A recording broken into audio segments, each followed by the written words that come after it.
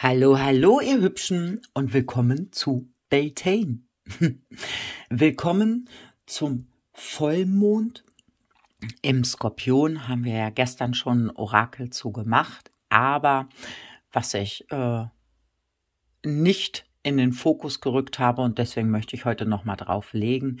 Ihr wisst ja, dass ich ähm, die keltischen Jahrestage immer nach den Mond Zyklen begehe. Ja, also andere feiern das nach dem Kalender, ne, also sprich in der Nacht vom 30. auf den 1.5. bei Purgis, ne, beziehungsweise eben auch Beltane. Ihr wisst, dass es da immer darum geht, sich ähm, zu verbinden, ja, mit etwas, bei den einen erstmal mit den eigenen Selbst, mit dem höheren Selbst, mit der Seele, bei den anderen die ähm, bei denen, die in dieser Phase sind, gibt es dann eben, ne, das geht darum, dass die Energie, die Kundalini durch die Chakren ähm, fließen kann, von oben nach unten, dass es da keine Blockaden in den einzelnen Chakren gibt. Ist da ein Chakra blockiert, bekommen wir entsprechenden mh, hm,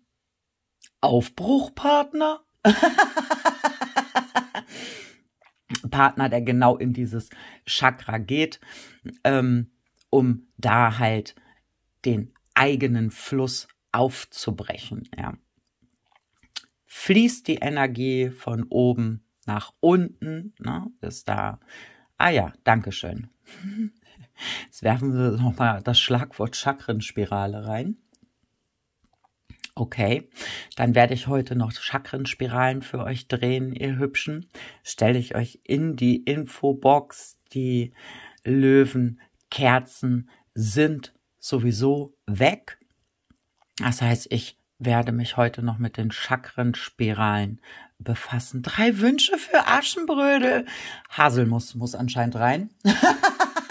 Okay, haben wir das auch geklärt? Ich drehe euch heute Chakrenspiralen, wo der Hauptbestandteil Haselnuss ist. Darf ich jetzt bitte weitermachen? Ja. Okay. Und wenn man dann mit seiner Energie auf diesem Planeten gelandet ist, bei den ein oder anderen Sternzeichen hatten wir auch noch die Thematik der Erdflucht. Ja, das heißt, ne, die Verweigerung in Gänze auf diesem Planeten zu landen, mit Ursache, Wirkung und so weiter und so fort zu arbeiten. Ja. Ähm, gibt es aber auch ganz enorme Hilfe heute. Ja, wir haben eine ganz starke Erzengelenergie und Schirmherr von diesem Vollmond von Beltane ist Haniel, ja, ähm, ich liebe ihn sehr mit Haniel und jetzt ergibt auch wieder die neun Tage Halschakra Challenge äh, in der WhatsApp-Gruppe, die ja nun gestern abgeschlossen wurde, pünktlich zum Vollmond. Sinn, weil Haniel ist äh, genau das ist die Macht des Wortes, ja, innen wie außen, Ne? Welchen Ton schlage ich an? Haniel ist die liegende Acht, ne? Ursache, Wirkung, mein Schatz, ja. Den Ton, den du anschlägst am Anfang war das Wort, ja. So fließt es eben zu dir zurück. Und genau das haben wir jetzt mit Beltane, ja, liegende Acht, Vereinigung, ne? Entweder brauchst du dann noch Spiegelung, ja, oder du brauchst etwas, das aufgebrochen wird, ne, und kriegst halt entsprechende Seelenpartner, ne? Oder du brichst jetzt das neue Zeitalter an, in dem es gerne leicht und spielerisch sein darf. Ja? Die Ernstigkeit wird rausgenommen. Das hatten wir auch bei den letzten Kerzen, auch jetzt bei den ähm, Sternzeichenimpulsen schon bei einigen, dass man jetzt wirklich, ähm, wie, möcht, wie möchtest du sein, ja? Möchtest du äh, möchtest du ein humorvolles, leichtes, von Freude geprägtes Leben haben, ja, dann stell dich innen darauf ein, ne, damit es auch im Außen so erlebt werden kann. Ja, oder möchtest du eben ne, da weiter irgendwelche Opfer-Retter-Täter-Spielchen, ja, irgendwelche Dramen, Intrigen. Have fun. Auch damit darfst du dich verbinden, ja, dein gesprochenes Wort, ne, Lyriden, ja, die Leier, ne, die Lyra, ping, du klingst den Ton an, dein Ton, deine Frequenz ist eine Energiewelle, die strömt über die Welt und zieht eben entsprechende Spielpartner an. Beltane, ja. Ja, das wollte ich nochmal erwähnt haben, weil gestern habe ich das, äh, habe ich da nicht so den Fokus drauf gelegt, ne? Jetzt wisst ihr Bescheid und natürlich fragen wir auch nochmal die Karten dazu. Schauen wir mal.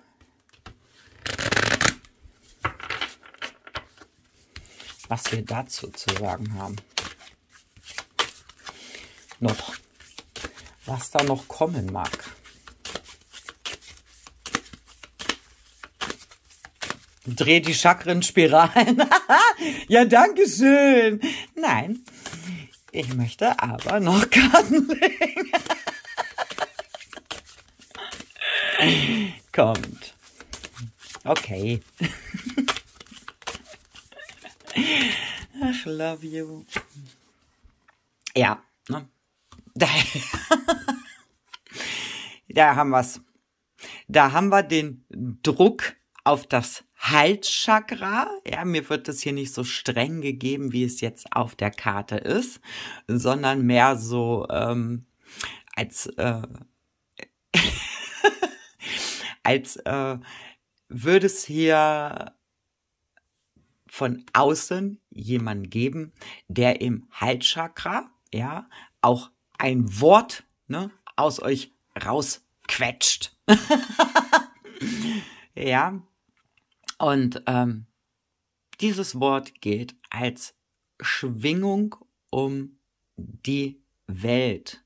Also sprich, achtet heute sehr auf ja, der eine oder andere von euch hat ja auch die Halschakra Challenge mitgemacht. Das heißt, ihr seid jetzt sowieso schon durch äh, die neun Tage am Stück sehr drauf äh, geprägt, ja, auf euer Wort zu achten, ob es eben ähm, aus einer Verpflichtung, aus einer Erziehung, aus was weiß ich, ja, aus euch raus purzelt ne? oder ob ihr tatsächlich eurem Sein Ausdruck verleiht. Weil da wird jetzt halt eben drauf geguckt. Ne?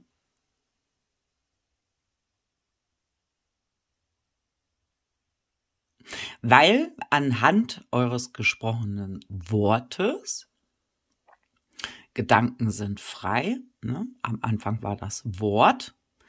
Anhand eures gesprochenes Wort, gesprochenen Wortes ähm, geguckt wird, ja, wo ihr in dem Durchfluss, in dem Innen wie Außen steht. Ne? Ob ihr aussprecht, was ihr denkt und fühlt, ne? oder ob es da halt noch eine Blockade gibt wenn ihr gucken wollt, ja, wo ist euer Fluss, in welchem Chakra sitzt da eine Blockade, habt ihr dafür ja entsprechende Meditation in der Infobox, ne? Ist eine äh, Schattenmeditation, also sprich, wo sind äh, dunkle Anhaftungen, ne? Ängste, ähm, äh, ähm, Manifestationen vom Elternhaus, whatever, ne? vom Freundeskreis dazugehören zu wollen, ja, und äh, deshalb nicht im eigenen Sein zu stehen, sondern in der Angepasstheit zu sein, etc. pp. Ne? Da wird euch in der Meditation, ähm, werdet ihr quasi gescannt ne? und dann wird euch eine Farbkugel überreicht und dann wisst ihr, ähm, in welchem Chakra ein Energiefluss freigesetzt werden darf, ja, wofür ihr hier quasi Haarnähe jemanden bekommt, der dann genau bei diesem Chakra andockt, ja. Und das wird jetzt hier so geguckt, ne, was hier aus eurem Halschakra. Also, diese Karte, dieses Bild ist halt ein bisschen krass dafür, ja. Ähm, welches Wort hier aus euch äh, rausfällt mit ein wenig Nachdruck. welches Zeitalter da bei euch geboren werden darf. Ne? Ja spreche ich aus, ne, was ich denke und fühle, höre ich auf meine innere Stimme, ja, neige ich dazu, etwas zurückzuhalten oder hinunterzuschlucken, ne, bin ich mir selbst und anderen gegenüber ehrlich, zeige ich mich, wie ich wirklich bin, ne, was habe ich der Welt zu geben, wie verleihe ich meinem Sein Ausdruck, ja, ähm, fühle ich mich frei in meinem Sein, ne, oder alles zusammengefasst, bin ich ich Ne? Oder müssen wir da an irgendeinem Punkt eben noch bei? Ja. Also sprich, ne, wenn wir jetzt wieder auf die äh, eigentliche Bedeutung der Karte des Fuchses ne, ähm, eingehen, bediene ich mich da irgendwelcher ähm, Listigkeiten, um an Ziel zu kommen. Ja, ähm, trickse ich, ne? Ähm, betreibe ich äh, erstmal so eine Spionage, ja, um dann halt in die Angepasstheit zu gehen, ne? All das, ja. Ja, ist interessant, ne? Ist spannend sage ich euch auch 1134. Ja, 11 sind die Routen, ne? Das ist, das, äh, ist die Klärung, ist die Auseinandersetzung, ist halt eben ne, das äh, gesprochene Wort. Ne? 34 ist äh, der Zwilling, die entsprechende Spiegelung dazu. Ne?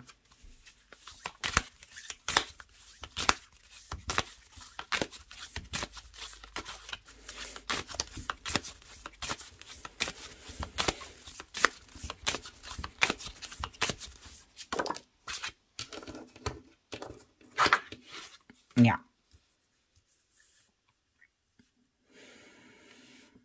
Da haben wir den Turm. Ja, das, äh, das ist der Durchfluss der Energien, ne? Was muss aufgebrochen werden, ja? Wo mauere ich mich, ne? Wo habe ich eine Begrenzung drin? Und ähm, dafür wird hier jetzt einmal auf den Kehlkopf gedrückt. Ja, Piep an. der Kill-Knopf ist hier gerade der Anknopf, ja. Peak an. Was kommt da raus? ja, genau, ne? Schaut. Hier haben wir es, ne? Hier haben wir es. Und diese Person, die das hier macht, ja, ist unschuldig. Ja, nur um das gleich mal vorab zu sagen, ja. Ähm, ja hier, weil es ist tatsächlich so, dass hier jetzt gerade jemand als Werkzeug, ne, das ist ja das, was ich hier gesagt habe, als Werkzeug äh, genommen wird, ne, ähm, um da ne, etwas hier Kehlkopf anzuknipsen, ja, damit man hier etwas ne, wo man sich zurückgehalten hat, zurückgenommen hat, hier aufbrechen kann. Ne? Ja. Das so, upsi. Ja, da hat hier jemand mit euch einen Ups-Moment. Diese Person kann gar nichts dazu. Das ist, ey, wir haben einfach hier alle Erzengel am Start. Ja, wirklich alle Erzengel am Start. Und ähm, diese Person ähm, rutscht das quasi einfach raus, ja. Und damit kommt hier äh, der Anknopf auf auf auf aufs Halschakra, ja. Und äh, damit kommt man auf einmal aus sich heraus, ne? Und ähm,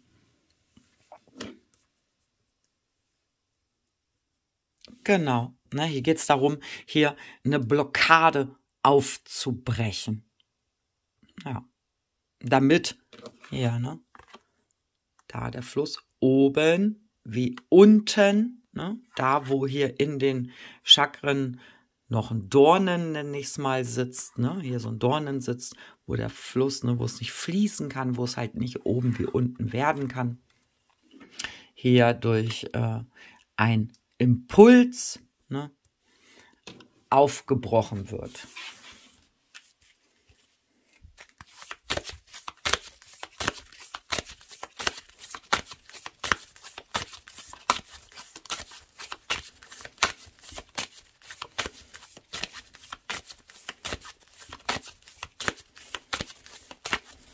wo man Emotionen, ne, Energien anstaut, ja, die mit, versucht hat, mit sich selbst auszumachen. Ja, da ähm, kommt man dann in der Regel meist nicht auf des Rätsels Lösung.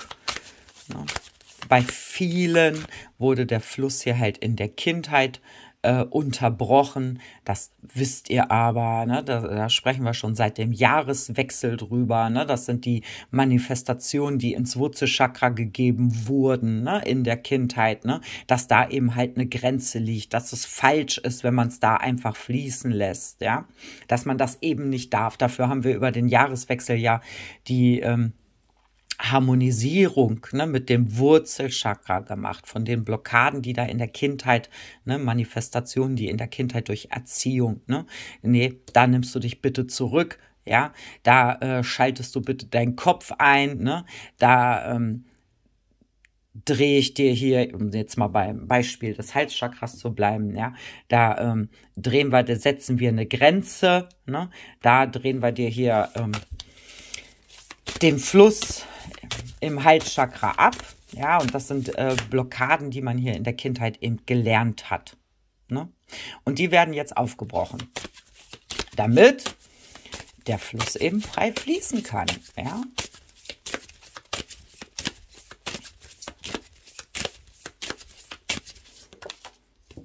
Genau. Da kommt die Bewegung, ne? Damit die Bewegung eben reinkommt.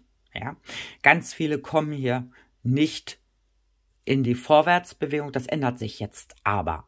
Ja, das, äh, ne, das ist ja das, was, wo wir mit den Plejaden schon die ganze Zeit dran arbeiten, ne, was der Vollmond hier jetzt mitnehmen soll. Ne. Viele kommen halt nicht in die Vorwärtsbewegung. Ne. Der Reiter steht ja auch für den Merkur und der Merkur der ähm, kommt ja morgen dann auch aus der Rückläufigkeit raus. Ja, Kindheit liegt in der Vergangenheit. Die wenigsten meiner Zuschauer sind drei. ja, also es darf vorwärts gehen. Und für diese Vorwärtsbewegung ne, muss halt an der einen oder anderen Stelle, an welcher werdet ihr selbst am besten wissen, hier eine Blockade, die diese Bewegung nach vorne, die diesen Sprung nach vorne behindert, raus.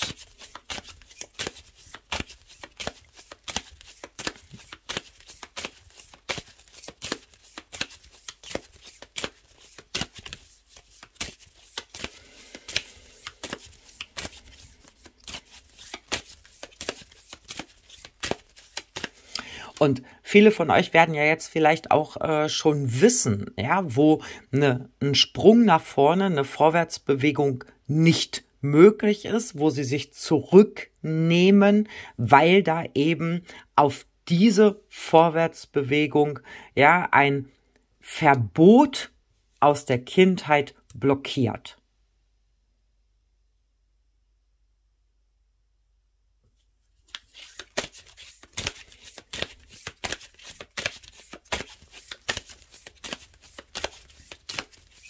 Was weiß ich, ne, zum Beispiel, ähm, ne, der Turm steht ja auch für Trennung und Scheidung, ja, ähm, das ist falsch, ja, in äh, meiner Familie lässt man sich nicht scheiden, ja, da geht man hier nicht in irgendwelche Aktivitäten, da wird man hier nicht aktiv, ja, weil mir halt beigebracht wurde, ne, ich muss da so eine äh, toxische Beziehung einfach ertragen, erdulden und erleiden können. Weil, was weiß ich, ja, meine Mutter hat das auch getan.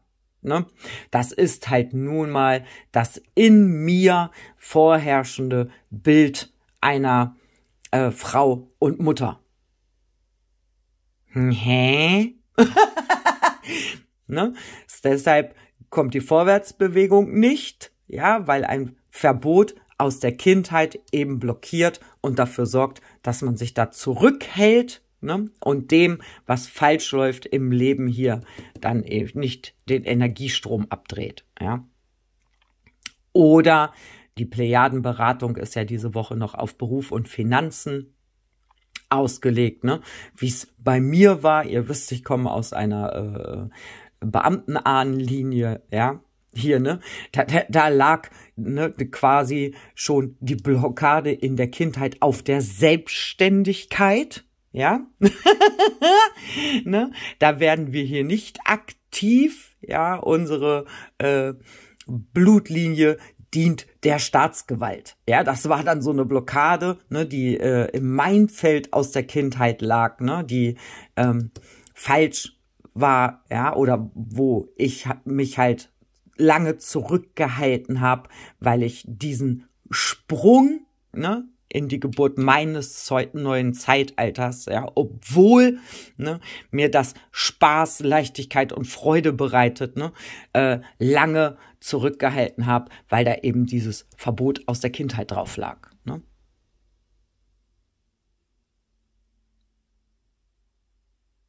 Das kann ja für alles Mögliche sein.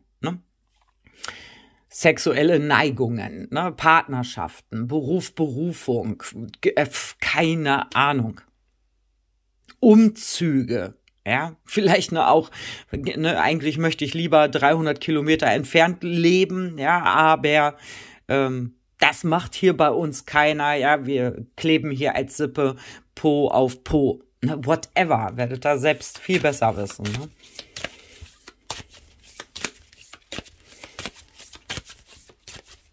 Man fühlt sich hier so ein bisschen eingesperrt, ja, eingesperrt und gefangen in einer Situation, ne? obwohl hier der Bedarf ist, da ein neues Zeitalter zu gebären, weil da eben diese Begrenzung und das Verbot drauf liegt. Ich darf nicht, ne? Das sind so, das ist eine Selbstsabotage, haben wir hier ja, ähm, aufgrund dieser äh, Regeln, äh, aufgrund von Regeln, Verboten und whatever, Begrenzungen. Es ist so ein bisschen Energie von ich darf nicht, ich kann nicht, äh, ich schaff das nicht.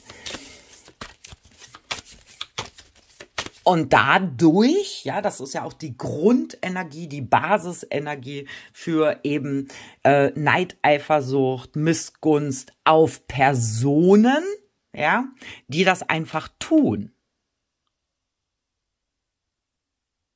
Ich muss euch ganz ehrlich sagen, ja, ich, ähm, ich persönlich jetzt, ja, finde auch, dass ähm, Neid und Eifersucht, ja, eins der ähm, voranbringendsten Emotionen ist.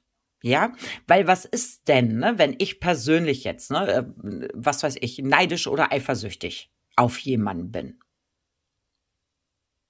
Dann weiß ich, was ich eigentlich will.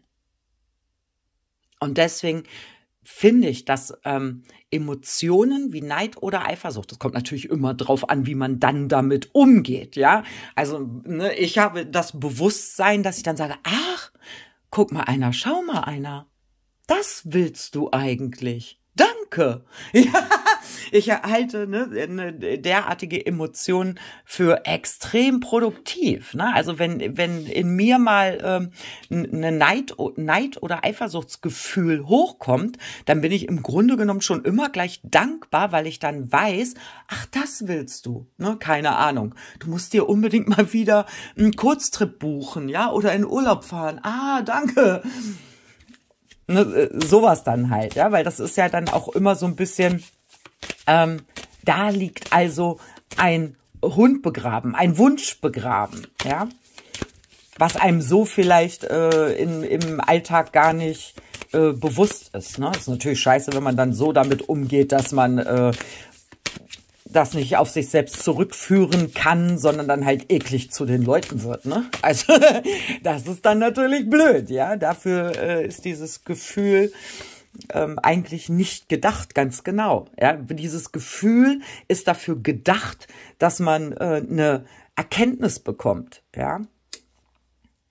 Und hier kommt die absolute Vorwärtsbewegung. Guckt euch das an, ja die absolute Vorwärtsbewegung. Hier kommt der, da, genau da, ne, um mal bei den ganzen Beispielen zu bleiben, aktiv zu werden, verspricht hier den Erfolg, ja.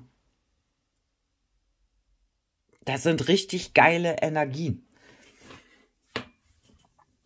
Aber wie immer, dein Wille geschehe. Ja, mach da jetzt bitte, ne, es kommt hier, guckt mal, ne? Es kommt hier durch diese, durch diesen naiven Anknipser einer Person, ja, kommt hier eine Blockade ans Tageslicht.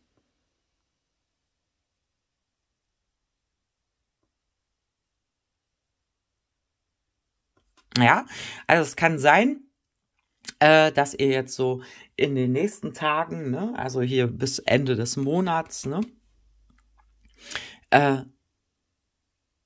getriggert werdet, ja, von jemanden, dann erschlagt diese Person bitte nicht, ja, weil diese Person ist da ähm, naiv und gutgläubig, ja. Das heißt, äh, diese, dieser Person, Person ist nicht bewusst, dass das ein Thema ist, ja, was euch, äh, keine Ahnung, provoziert, reizt, triggert, ja, weil diese Person ist geschickt. Ja, geschickt, damit ähm, ihr etwas versteht, ja, damit euch etwas bewusst wird. Und diese Personen können ja in der Regel auch überhaupt nichts dazu, wenn ihr euch selbst, ja, von etwas, was sehr erfolgreich für euch wäre, ne, zurückzieht, ja, und dieser Person war in der Regel auch nicht dabei, als euch als dreijähriges Kind da eine Blockade, eine Begrenzung reingegeben wurde, ja. Ja. Also Sanftmut mit denen, die euch hier geschickt werden, damit ihr ähm, etwas versteht. ja. Ja. Die haben ähm,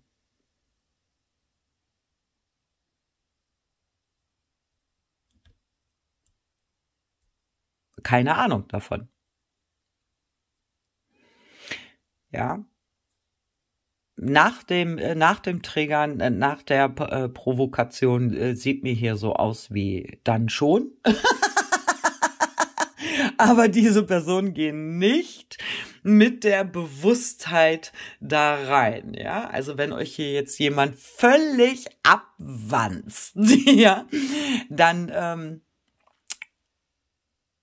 konzentriert euch nicht auf die Frechheit, dass diese Person das getan hat, sondern fragt euch, ja, hinterfragt euch selbst, warum ähm, provoziert mich das denn so? Ja, warum wanzt mich das denn hier jetzt so ab? Warum triggert mich das? Warum will ich diese Person denn dafür würgen? Ja, ne, warum bin ich hier vielleicht, ne, äh, was weiß ich, neidisch auf diese ähm, Aktivität? Was für ein eigener Wunsch, was für ein eigenes Bedürfnis verbirgt sich denn dahinter? Ja. Weil es wird mir, wie gesagt, ne, wirklich, wirklich als Hilfestellung gegeben hier. ein bisschen, die Karten sind so groß, müssen wir ein bisschen Platz machen hier.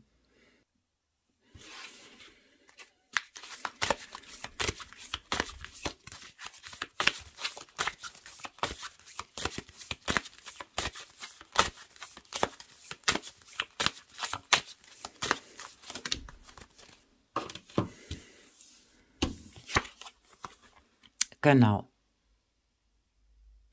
Es ist da, wo ähm, ihr eben einfach keine Segel setzt, ja. Euch selbst da ähm, von abhaltet, ja.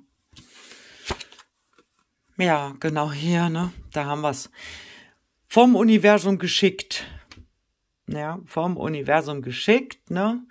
Damit es auch für euch in diesem Bereich weitergehen kann, ja, und dafür ähm, braucht es einen Aufbruch. Ne? Genau. Und deswegen kommt man hier in eine Gesellschaft, ja, an einen Ort, der diese, an eine Person, in ein Umfeld, ja, wo dieser, es ist ein absolut positiver Aufbruch, ne? Dass äh, halt eben aus euch rausgeholt wird, ja, weil ähm, euch hier einfach gezeigt wird, es geht auch anders, ne? Es geht auch anders. Es gibt noch eine andere Möglichkeit. Es gibt eine Alternative.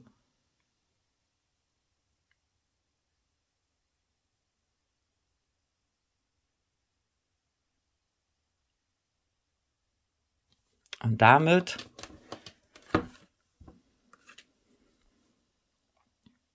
kann das hier beginnen.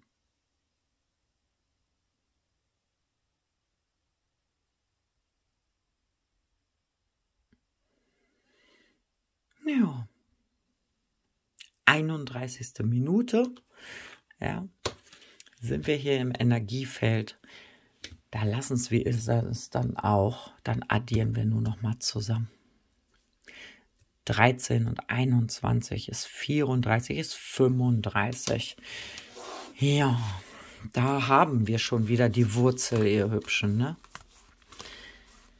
Oh Mann, da haben wir schon die Wurzel und auch die Ansage von Haniel hier gerade. Wir arbeiten dran, ja?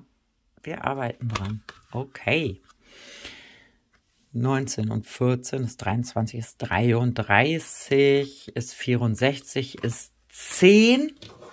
Ja, ist auch so dieses, woran hältst du fest, ne? Ja, wo sperrst du dich selbst ja von erfolgreichen Aktivitäten aus? Wo haben wir die 10? Haben wir die hier schon liegen Nö. Ja.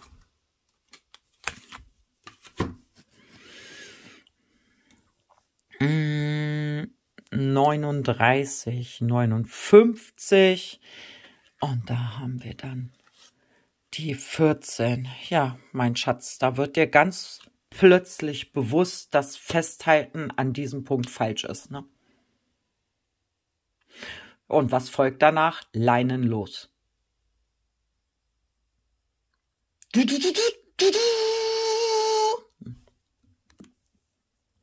Ab dafür. Richtung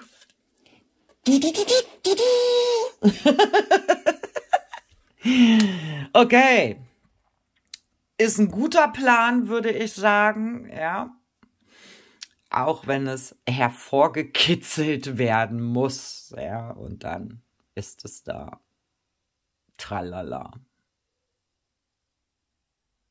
Und das das ist so ganz, ganz, das geht rasant. Ja, das geht ganz, ganz schnell. Auf einmal werden hier bei dem Schiff ne, wird der Anker eingeholt. Ja, ganz plötzlich wird hier der Anker eingeholt. Ne, da wo man hier quasi wie gefangen oder befangen war. Ne, und dann ist hier Leinen los. Ja, auf einmal geht's.